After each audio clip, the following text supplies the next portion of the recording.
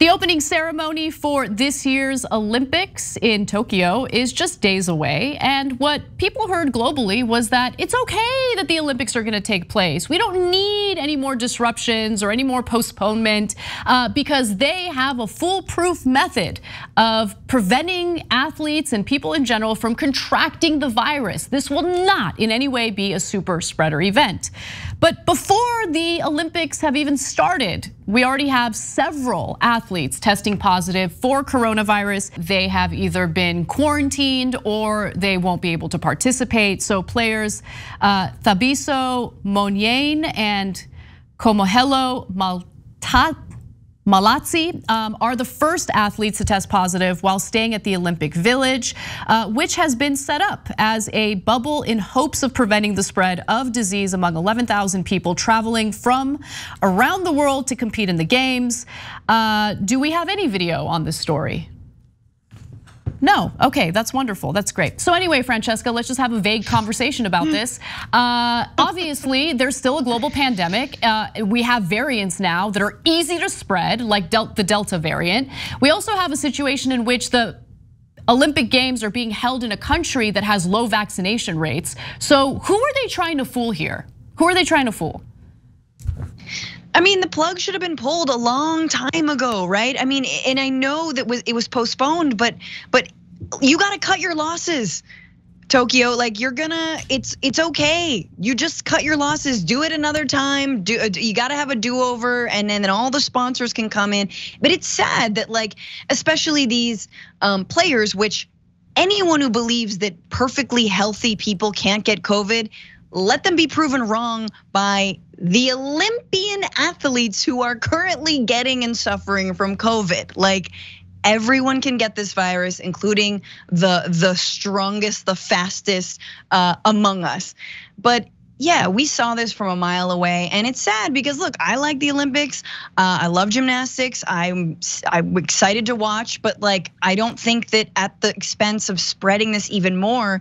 I mean, girl, if Coachella was canceled two years in a row, mm-hmm the Olympics can be canceled as well two years in a row. So let's talk about why the Olympics are taking place. Because the people of Japan have been protesting this. They do not think the Olympics should take place. This has been an incredibly expensive endeavor for Japan. And in fact, any country that wins the, the bid to host the Olympics ends up spending so much money um, that, you know, just kind of goes down the drain. It's not like they get a return on that investment, uh, but you know, there's a lot of pride in being able to host the event. Now, the governing body for the Olympics wants to make sure that it moves forward because it's actually very profitable for them. They get to license the rights to broadcast the Olympic Games. That earns quite a bit of money for them. Uh, there, there are all these opportunities for you know the Olympic body, the governing body, to make money. Um, mm-hmm. And even if it's to the detriment of the people living in the uh, local area, even if it harms uh, actual athletes who are part of the Olympic Games due to this global pandemic. It doesn't matter. There's money involved. You know, people are gonna uh, strike it rich with these licensing deals and what what other deals they can um, you know pull out of this event. And it, it, it's the ongoing theme that we've been talking about on the show, right? The the theme of profits over people, profits over the well-being uh, of people, right? And in this case, profits over the health of the very athletes who are showing up to compete. And yeah, they can sit, they could talk about the bubble, they could talk about what they're trying to do to prevent the, the spread of COVID. But as we know, and as we've experienced on a personal level, right? Those efforts only go so far. You can't prevent the spread unless you ensure that people are distanced, and masked up. You know, the, one of the videos that I wanted to show you guys um, talked about the low vaccination rates in Japan, yes, but also the fact that like not everyone is masked. Not everyone is taking the guidelines seriously. You know, it's not just the United States that has its issues with people not wanting to take it seriously. They have the same problem in, in Japan, not to the same extent, but they still have the same problem in Japan as well. So to pretend like, oh, we've, we've conquered this, everything is totally fine. I mean, we really want to make some money here, but everything's totally fine. Let's move forward. Like it's just let's call it what it is. This is about making money. This isn't about, oh, we love the Olympics and we love these athletes and we love watching these games and these competitions. No, it's there's a profit motive behind it. I mean, look, it's been that's been going on throughout, you know, whether it's MLB, NBA, like it, sporting events have been canceled because of COVID. And I would say that that a lot of these institutions have risked their players' health and the fans' health. Um, and they've tried, I mean, like, it's like you see the hoops they go through because there's so much money in sports, right? There's so much of it. And and it's sort of revealing that you're like, okay, but when push comes to shove, we're all gonna shut down, right?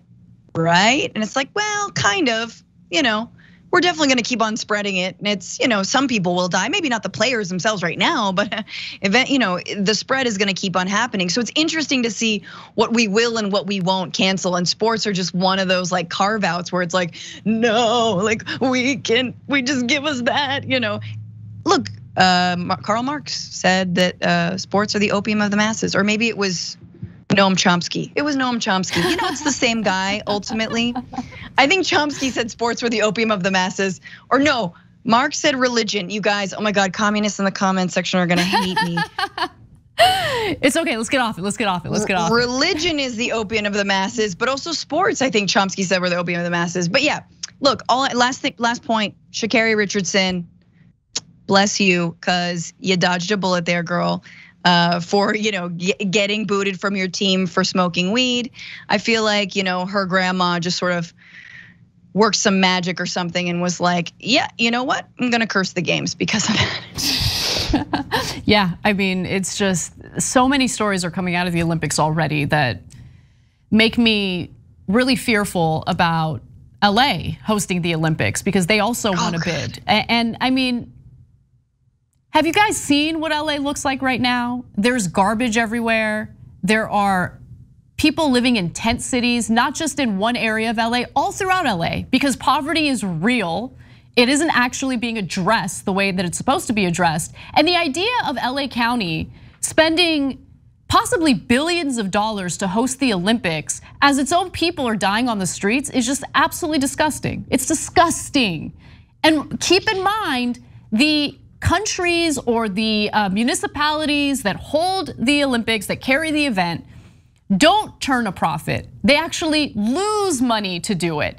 Because it's all about, it's like, it's a genital measuring contest, okay? Mm-hmm, That's all it is. Mm-hmm. That's all it is. So it'll it might hurt the local economy, it might hurt the locals living in the area where the Olympics are hosted, but who cares? Who cares? The governing body for the Olympics stands to make a profit, and these specific areas want to look good by hosting events that they have no business hosting. It's like someone who just went bankrupt hosting like a mansion party. Like, what are you doing? Well, and that's the thing, Ana. Like, what do you think is going to happen to the unhoused people in living in Los Angeles before the Olympics? Hide them. We got to hide them. Are they going to? Right, exactly. That's, you got to hide them happen. somewhere. Are they going to be given homes? no, no, no, no, no you know, just one way ticket. I mean, New York did this. How about a one way ticket just out of town? Watch that happen. It happened in Beijing. Do you remember there were sort of so-called cleaning up, but basically displacing hundreds of thousands of families who lived in traditional neighborhoods in Beijing to make way for the Olympics that year. And it happens. It happened in Brazil for the World Cup. You know, and then I'm sure everyone saw the photos of these brand new stadiums that got built that were just full of like trash and seagulls six months later. And they say, oh, we're just gonna make this town good for business. No, that's not how you build a healthy town. Business has been here and they've been destroying the fabric of this city. Thanks for watching The Young Turks, really appreciate it. Another way to show support is through YouTube memberships. You'll get to interact with us more. There's live chat emojis, badges.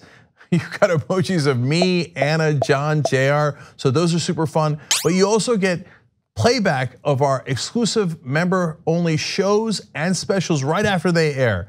So all of that, all you gotta do is click that join button right underneath the video. Thank you.